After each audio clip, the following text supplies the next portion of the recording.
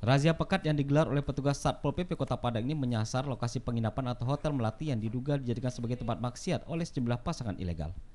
Satu persatu kamar hotel yang berada di kawasan Bungus Teluk Kabung Kota Padang ini diperiksa oleh petugas penegak perda. Dalam razia ini petugas menjaring dua orang pasangan yang diduga selingkuh yang tengah asik memadu kasih di dalam sebuah kamar hotel yang diduga tengah berbuat asusila. Pasangan ilegal yang diketahui merupakan seorang dosen berinisial SS dan mahasiswinya berinisial FW dari salah satu perguruan tinggi swasta di Kota Padang ini kemudian digiring dan gelandang ke Mako Satpol PP Kota Padang.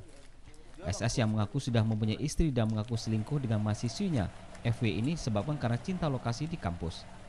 Dosen dan mahasiswi ini selanjutnya diberi sanksi pemanggilan kedua pihak keluarga dan dilakukan pembinaan di Mako Satpol PP.